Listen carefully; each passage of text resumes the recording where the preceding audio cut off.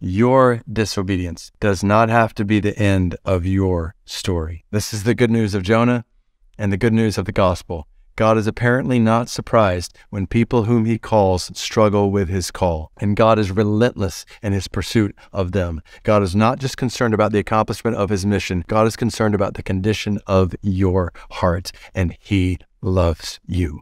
And his capacity to forgive you is greater than your capacity to sin against him because of Jesus.